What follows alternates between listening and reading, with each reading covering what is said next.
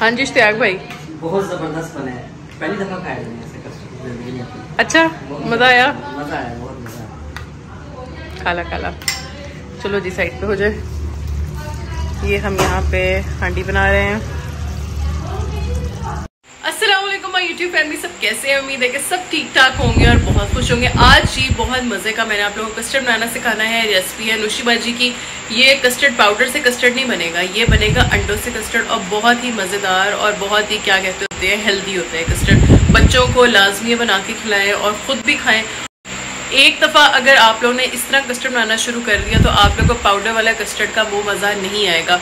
और जैसे इसकी प्रेजेंटेशन करेंगे, सब मैं आप लोगों को दिखाती हूँ। चले जी, अब वीडियो की तरफ़ चलते हैं और सारी इंग्रेडिएंट्स जो है डिस्क्रिप्शन में मैंने मेंशन कर दिए, चले जी वीडियो की तरफ़ बिसमीम जी रेसिपी बनानी शुरू करते हैं। बहुत सिंपल और बहुत इजी सी रेसिपी है। सबसे पहले हमने करना है एक लीटर दूध लेना है। अगर बहुत ज़्यादा लोगों ने खाना है, तकरीबन आठ लोगों ने खाना है वन पॉइंट फाइव लीटर ले लें।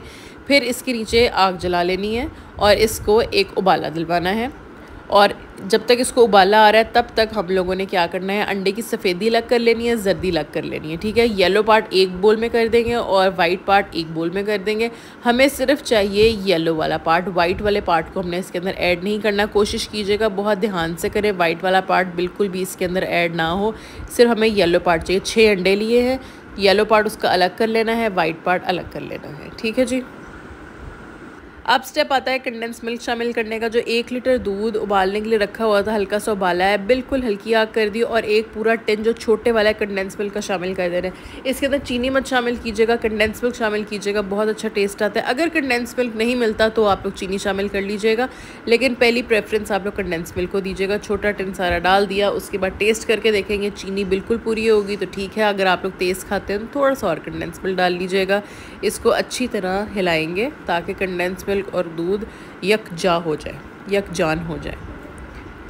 फिर बारी आती है अंडों की तरफ़ चलते हैं। हमने सिक्स टेबल स्पून कॉर्नफ्लावर इसके अंदर शामिल करने, ठीक है? कॉर्नफ्लावर यहाँ मैं लिख भी रही हूँ नीचे ताकि कन्फ्यूज़न ना हो। सिक्स टेबल स्पून जो छः अंडों के येलो पार्ट थे, उसके अंदर हम लोगों ने शामिल कर देना है कॉर्नफ्लावर ये जी सारे टेबल स्पून शामिल कर दिया। अब इसको अच्छी तरह हिला लेना है ताकि इसके अंदर कोई लम्स ना रहें, कोई पार्टिकल्स है, बिल्कुल स्मूथ सी ना इसको पेस्ट बना लेनी है, ये देखें।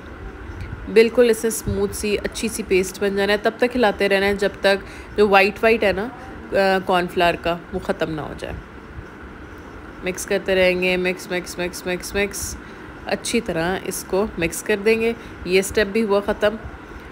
अब चलेंगे जी चूल्हे की तरफ़। अब जी दूध के मिक्सचर को हम हिलाएँगे हल्का हल्का और अंडों के मिक्सचर को डायरेक्ट दूध में शामिल नहीं करेंगे, ये स्टेप लाजमी करना है। पहले हम थोड़ा सा दूध अंडों के मिक्सचर के अंदर डालेंगे, इसको थोड़ा सा पतला करेंगे और फ़ौर फ़ौर मिक्स करेंगे। हम लोगों ने देर नहीं करनी यहाँ पर ठीक है? एक और स्पून शामिल करेंगे दूध की। चलें जी, अब बारी आती है इस मिक्सचर को दूध के अंदर शामिल करने की। सारा ये जो काम है ना, फटाफट करना है। देर नहीं करनी है, अंडे शामिल कर दिए, बाद में हिलाए साथ साथ हिलाते रहना है लाजमी, ठीक है? ये मैं हट जाऊँगी। अब ये नोशीबाजी कर रही हैं। साथ साथ हिलाते रहना है और इधर आग बिल्कुल आहिस्ता कर देनी है। अगर थोड़े तेज़ आग होगी तो बंद कर देना बिल्कुल दम वाली आग थी, यहाँ पे बंद कर दी और साथ साथ तेज़ी तेज़ी से ना हिलाते रहना है। बस ताकि लम्स ना बने और क्या कहते हैं, कस्टर्ड नीचे ना लगे, इसलिए चूल्हा बंद कर दिया। ये कस्टर्ड हो गया है रेडी। इसके अंदर अब जा रहे हैं तीन से चार ड्रॉप्स वरेला एसेंस के। बिल्कुल भी अंडे की स्मेल नहीं आती, बिल्कुल भी। मुझे लग रहा था कि शायद इसके अंदर अंडे की स्मेल आई थी जब नोशीबाजी ने बताया था कि ये अंडों की येलो पार्ट से बनता है। और मैं बड़े कंफ्यूज हो रही थी, कैसे बनेगा? और इसके अंदर तो स्मेल आएगी अंडे की, लेकिन बिल्कुल भी एक परसेंट भी स्मेल नहीं आई। और जो बॉक्स वाला कस्टर्ड होता है ना, उससे तो बहुत ही अच्छा बना था। एक बार लाजमी आप लोगों ने ट्राई करके देखिएगा। और मेरे साथ आप लोगों ने लाजमी फ़ीडबैक शेयर करना है, क्योंकि मैं भी बहुत कंफ्यूज हुई थी जब तक मैंने इसको ट्राई नहीं किया था। और जब मैंने इसको ट्राई कर लिया है प्रॉपर जो डेकोरेशन करके, जो बाजी ने अंदर बिस्किट्स और अंदर सारा कुछ किया था, कमाल। मैं कहती हूँ, मेहमान आएँ, ये बनाएँ और बहुत वाह हो जाएगी। अब बारी आती है इसके नीचे चूल्हा चलाने की। चूल्हा जला लिया, जो हल्के से बबल्स बनने शुरू हुए।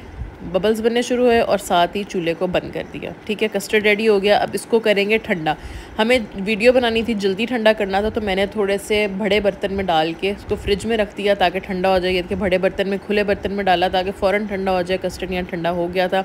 अब हमें चाहिए दो क्रीम के पैकेट अगर आप लोग को जल्दी है तो क्रीम विप करने की ज़रूरत नहीं है और जो ये वाली क्रीम है विप सही बताऊँ, होती भी नहीं है। मत बच जाती होती है, दो क्रीम के पैकेट ले लिए। अगर आप लोग लाहौर, इस्लामाबाद, फैसलाबाद वगैरह रहते हैं, वहाँ से विप क्रीम मिल जाती है तो आप लोग विप क्रीम ले लें, उससे ज़्यादा अच्छा बन जाएगा।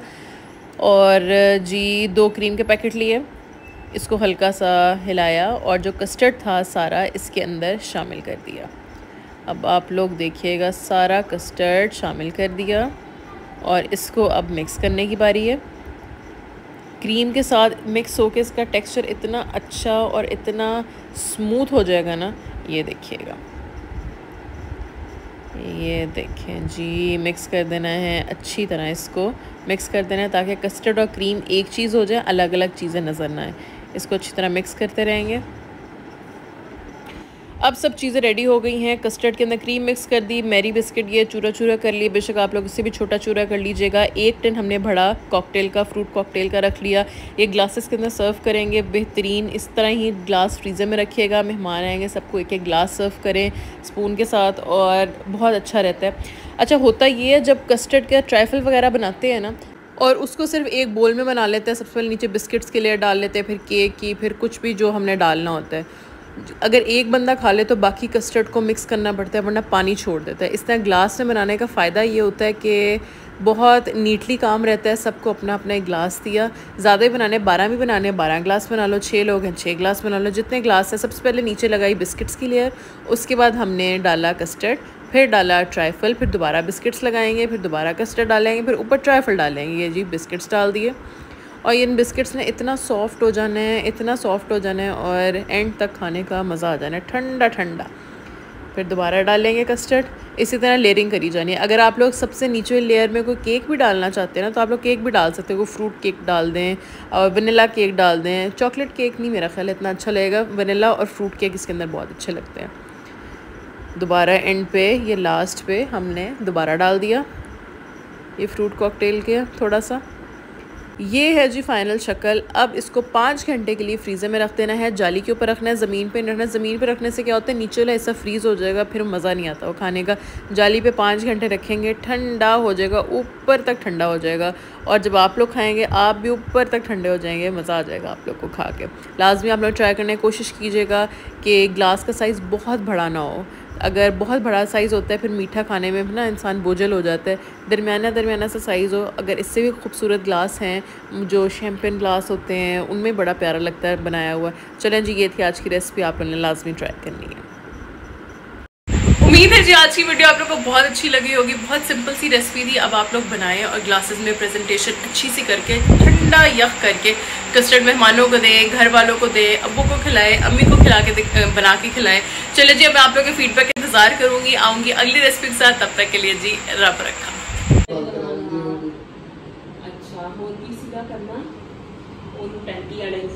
तो?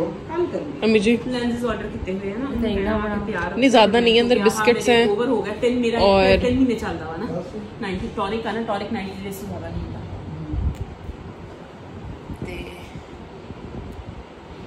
किदा मज़ेदार। नौशीबा जी ने बनाया।